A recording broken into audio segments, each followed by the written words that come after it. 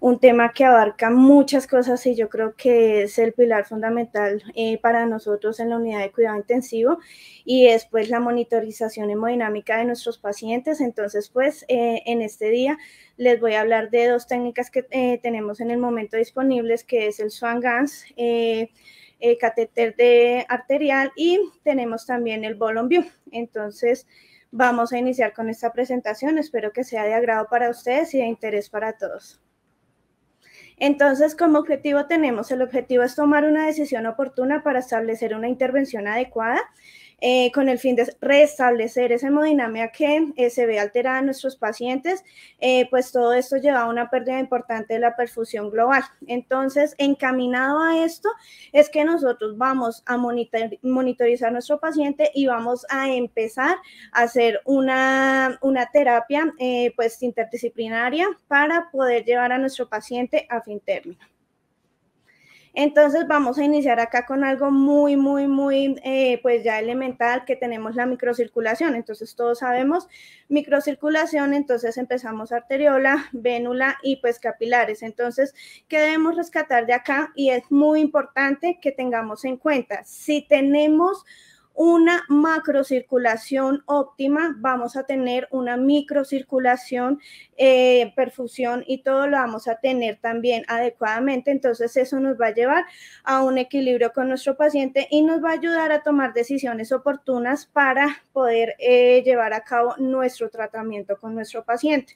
¿Qué debemos tener acá importante? Que en nuestros capilares se realiza el intercambio de oxígeno, eh, eh, se lleva también eh, importante en la microcirculación el flujo sanguíneo, transporte de oxígenos y como ya sabemos también se lleva el transporte, los desechos de la célula. Entonces, básicamente, eso es lo que vamos a tomar de acá. Entonces, ¿qué tenemos del distrés microcirculatorio? Entonces, vamos a tener un daño inicial. ¿Por qué llegó mi paciente? Mi paciente llegó por un show, por un accidente, por X, Y, Z circunstancia que me llevó a un daño. Ese daño me está generando un shock circulatorio. Entonces vamos a empezar con unas medidas eh, de terapia, de reanimación, que eso es lo que nos va a encaminar a que nuestro paciente resuelva lo que tiene en ese momento hemodinámicamente. Entonces vamos a empezar a eh, evaluar paso a paso cómo es esa reanimación y cómo esa terapia nos está ayudando para lograr nuestros objetivos. Entonces, cuando eso no se logra, entonces tenemos que eh, vamos a empezar con un shock circulatorio. Entonces, ese shock circulatorio se puede dar eh, por em, alteración de, variables como, por ejemplo, eh, endotelial, los glóbulos rojos, coagulación, leucocitos. ¿Por qué?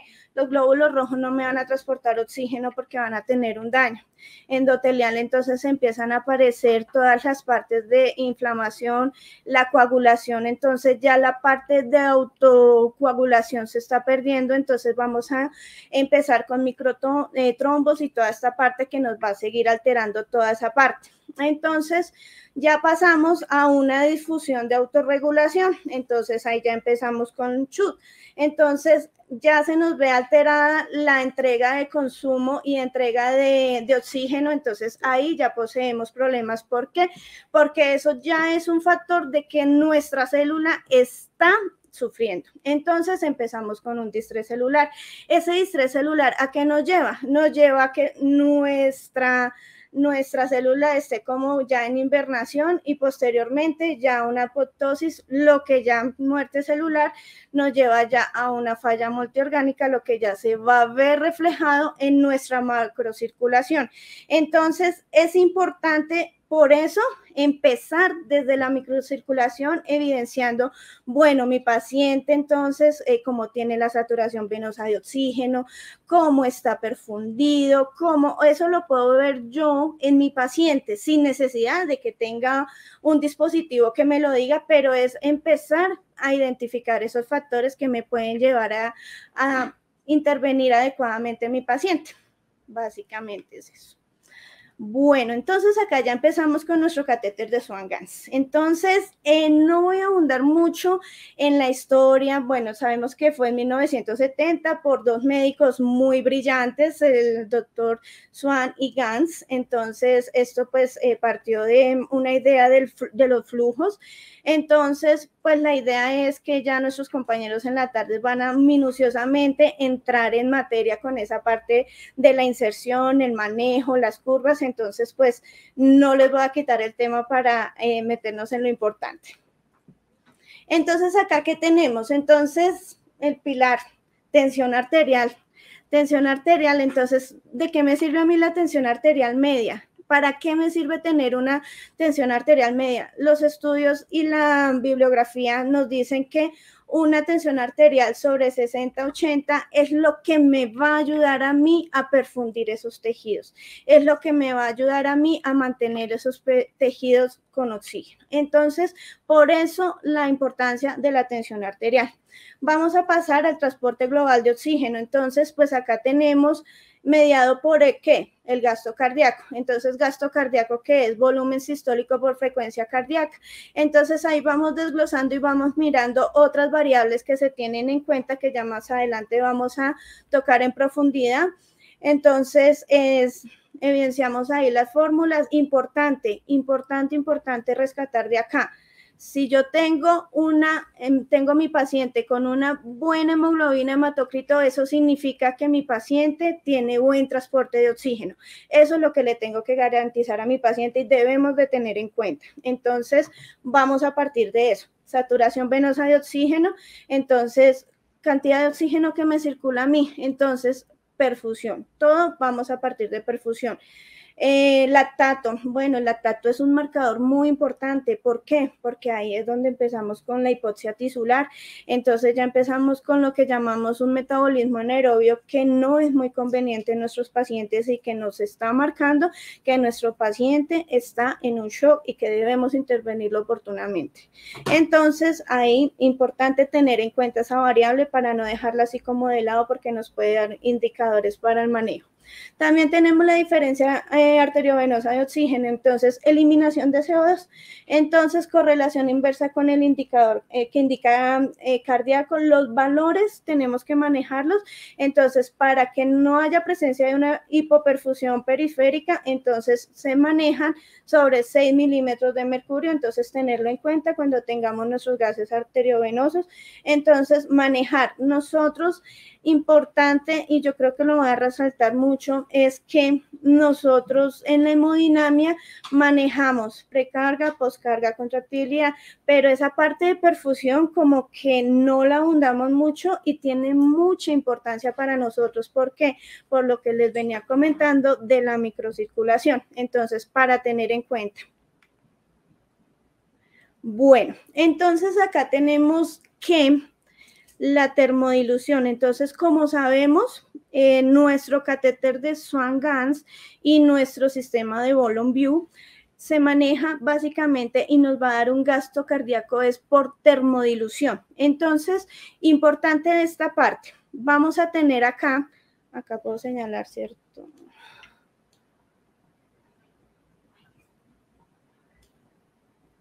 Eh, acá, ok. Bueno, entonces acá tenemos la distancia en el Swan-Ganz de la aurícula, aurícula derecha, hasta nuestro encabla, encabla, eh, enclavamiento de la arteria pulmonar, entonces es un trayecto muy corto. Entonces, por eso vamos a tener que la curva siempre va a dar. Entonces, nosotros vamos a infundir un líquido que es diferente a la temperatura 15 grados por debajo de la temperatura que tiene mi paciente. Entonces, porque la distancia es más corta y vamos a mirar la fórmula de acá vemos entonces la curva termodilución, entonces del Swan-Ganz, entonces es mucho más rápida por la distancia que tenemos en esta parte. Entonces es importante tenerlo en cuenta. En el Bolon se nos va a demorar un poco más. ¿Por qué? Porque el Bolon tenemos circulación mayor, circulación menor. Entonces, hasta que hace todo ese trayecto desde que eh, inyectamos el líquido pasa por toda la circulación menor, ya pasamos entonces el torrente sanguíneo, hace ese cambio de temperatura. Nuestros termistores que tienen en la punta de cada catéter hacen esa lectura para sacar gasto cardíaco, pues por eso la curva es un poco más demorada y por eso tenemos un poco más de meseta en la curva de termodilución transpulmonar. Entonces, para tener en cuenta pues la diferencia en la termodilución del eh, con el Swan Gans.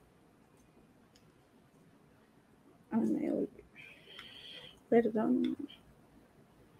Bueno, entonces acá en la curva de línea arterial, la curva de línea arterial pues es muy importante para nosotros. ¿Por qué? Porque eso nos va a dar unos valores. Entonces, siempre que miramos, entonces tenemos que ir acorde con nuestro trazado eh, de, visto por el visoscopio eh, con la curva. Entonces, eso nos va a medir volumen eh, sucesivo de latido continuo, pues el gasto cardíaco, entonces cuando está disminuido, cuando está aumentado, eso también nos ayuda a visualizar y a identificar morfología de, de, la curva, la presión arterial de pulso, pues que obviamente tiene que, si nuestro paciente está por una hipovolemia, entonces si es respondedor o no respondedor a volumen, entonces todo eso nos nos ayuda a evaluar lo que es la curva de línea arterial y estar muy pendiente de esa parte que tenga todas las variables que tenemos acá. Entonces, la sístole, la diástole y pues eh, toda la parte de la eh, curva de Crot. Bueno, entonces acá ya con la monitorización con el catéter eh, de Swan-Ganz, entonces tenemos, ¿por qué puse esta gráfica con el pulmón?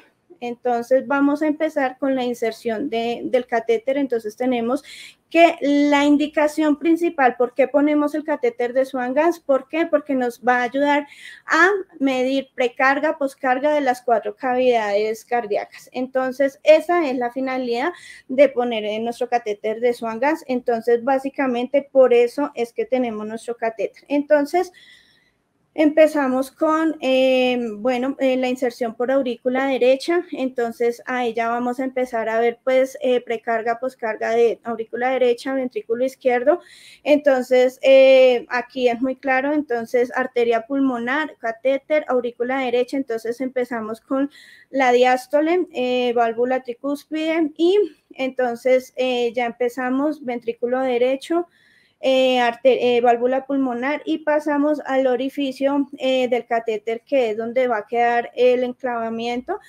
arteria pulmonar. Entonces, vamos a hacer de cuenta que eh, es nuestro pescadito el que va ingresando su cabeza por toda esta parte de la arteria pulmonar.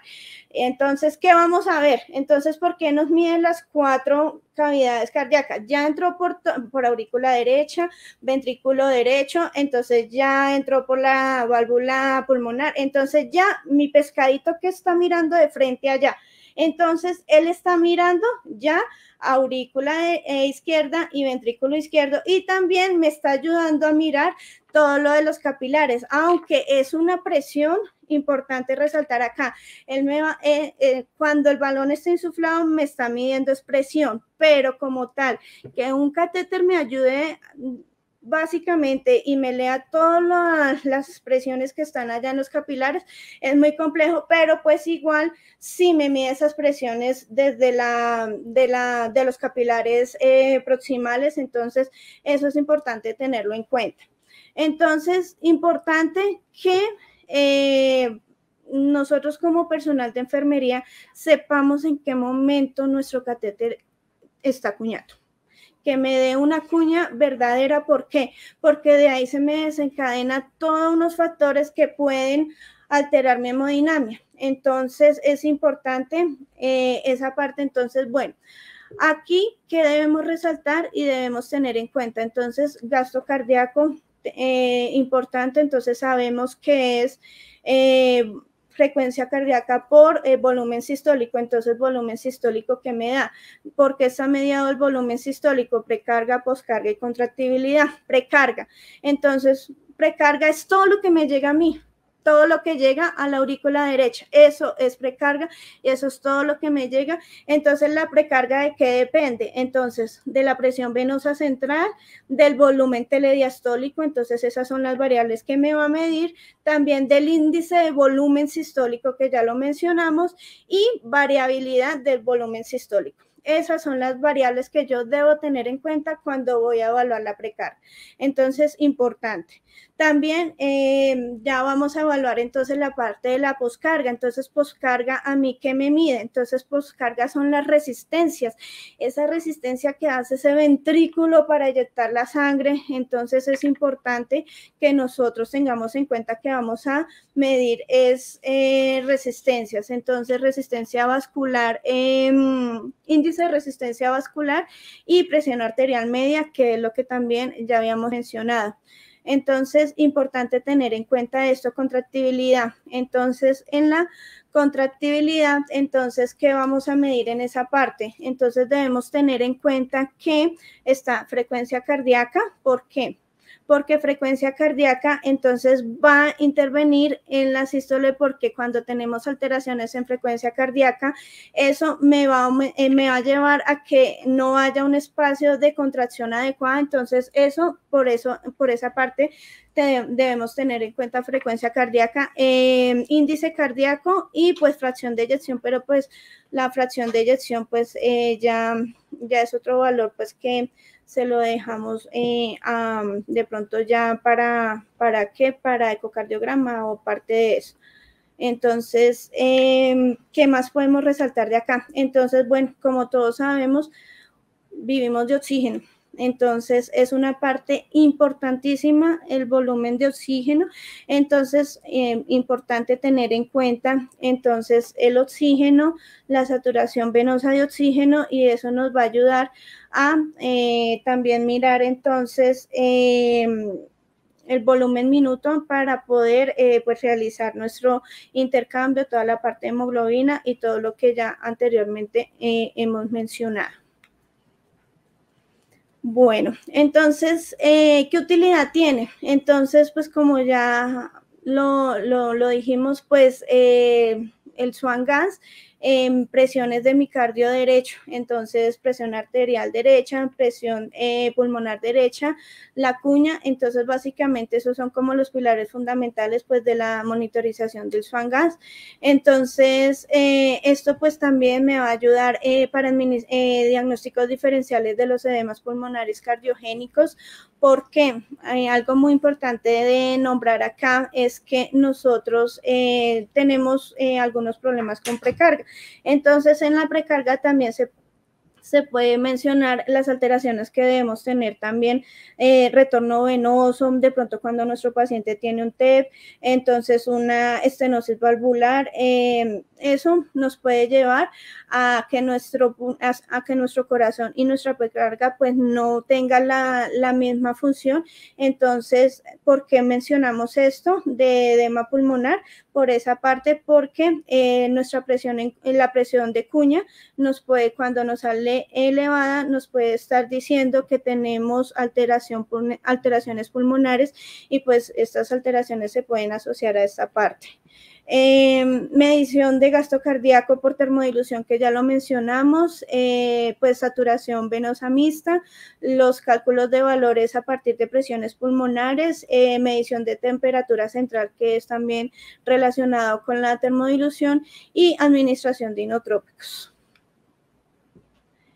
¿Qué indicaciones tenemos eh, para eh, con el swan gas? Entonces, eh, sospecha de complicaciones, infarto agudo del miocardio, un shock cardiogénico, hipotensión que se maneja perfectamente con, con, el, con el catéter, edema pulmonar sin tratamiento, una difusión ventricular izquierda, valvulopatías graves y hipertensión pulmonar. Entonces, aquí ya vamos a entrar al volume view. Entonces, de nuestro Volume View, entonces es una monitoría mínimamente invasiva guiada por objetivos, eh, proporcionando una vista de parámetros volumétricos y manejo de líquidos por medio de una técnica de termodilución.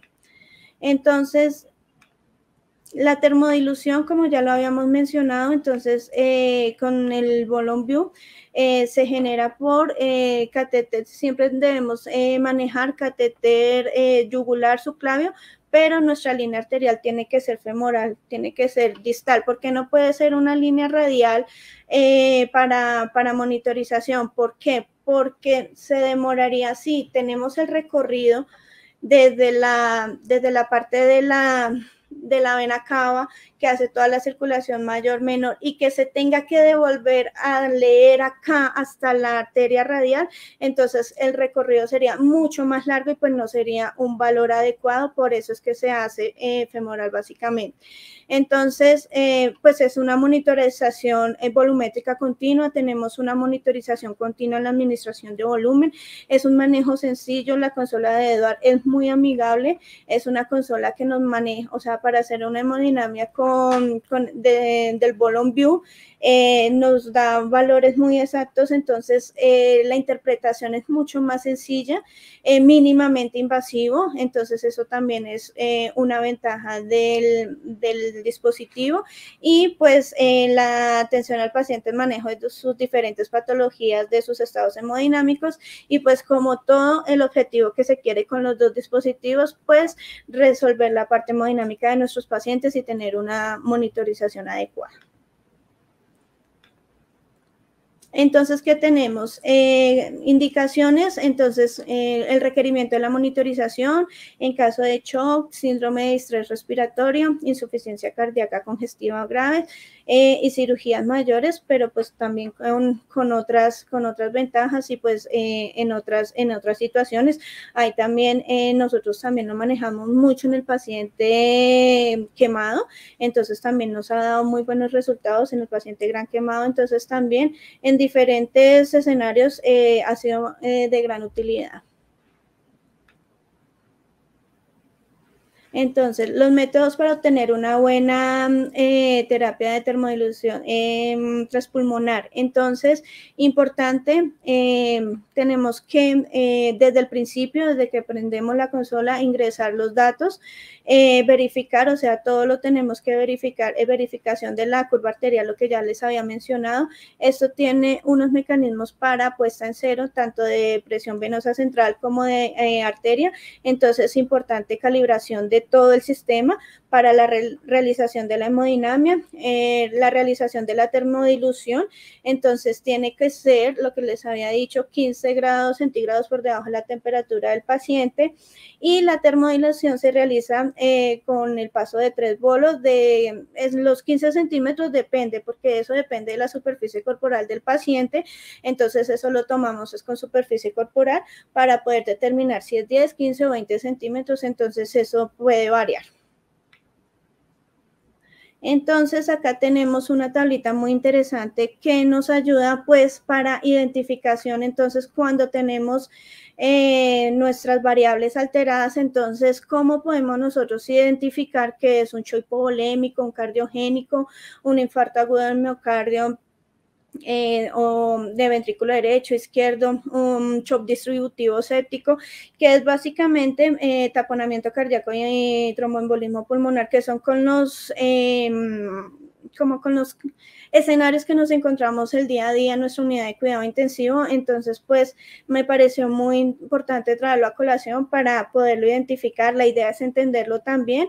Entonces, eh, pues ahí tenemos que nuestras variables aumentan, disminuyen según eh, cada tipo de, de shock que tenemos. Entonces, para analizarlo con un caso clínico.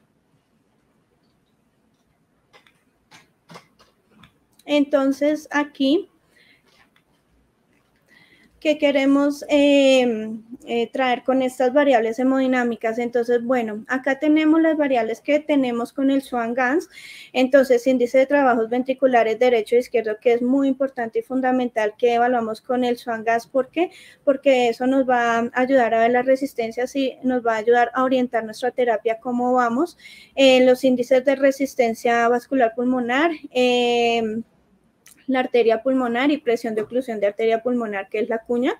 Entonces, en el Bolon View, ¿qué tenemos? Entonces, pues el boom del, del Bolon View, entonces tenemos el ELWI, que es el volumen extravascular pulmonar, el índice de permeabilidad pulmonar, el índice de volumen telediastólico, que eso es más de precarga y fracción de eyección postcarga. ¿Y qué tenemos en común de variables con el Swan-Ganz y el Bolon View? Entonces, índice de volumen sistólico, el índice cardíaco y las resistencias vasculares sistémicas, eh, básicamente. Entonces, bueno, acá traje un caso clínico. Entonces, este caso clínico es un paciente que llegó de un accidente eh, este paciente pues llegó eh, totalmente desocupado, entonces eh, llegó con unas tensiones bajísimas. Entonces nuestro paciente fue llevado a salas de cirugía, le hicieron, em, el, paciente tenía un hemiperitoneo de mil centímetros, entonces este paciente nos llegó a la unidad de cuidados intensivos con, esta, con estas variables. Entonces la primera hemodinamia que le realizamos nos arrojó estos datos. Entonces, ¿qué tenemos importante de acá? Y que debemos entonces identificar según nuestra tablita que, que manejamos de shock. Entonces, acá vamos a mirar que está con una taquicardia, 115 latidos por minuto, tensión arterial la tenemos 80 sobre 50, tenemos una eh, presión arterial media muy limítrofe, estamos en 60 milímetros de mercurio.